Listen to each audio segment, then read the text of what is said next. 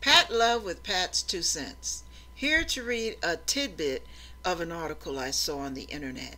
And I want you to hear where Halloween really was derived from. Yeah.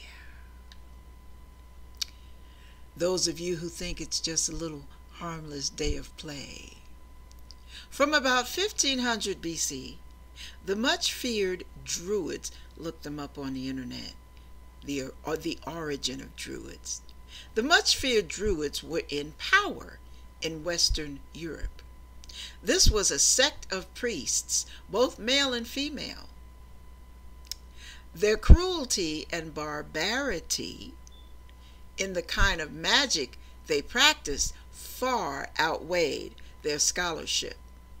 People were used as sacrifices and were flogged tortured, and sexually molested before they were killed by having their hearts torn out while they were still alive.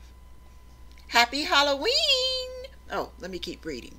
Their sexual organs were cut off and conserved to be used in black masses. Sometimes they were skinned. Oh, what fun! And the skin was used in different rites. The Druids taught that on Halloween, ghosts, spirits, fairies, witches, and elves came out to harm people. From this terrible satanic religion comes the use of witches, ghosts, and cats in today's celebration of Halloween. The Druids had an autumn festival called Samhain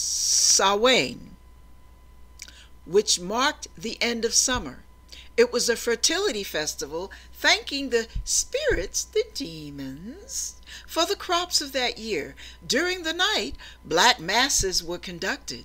The custom of using leaves, pumpkins, and corn stalks as Halloween decorations come from the Druid festival. Now doesn't just that doesn't just doesn't that just warm the cockles of your heart? You wonder why a lot of us Christians won't have anything to do with Halloween.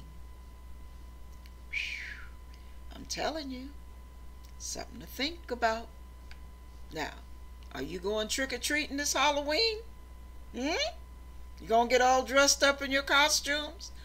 Well, you go right on ahead if you dare.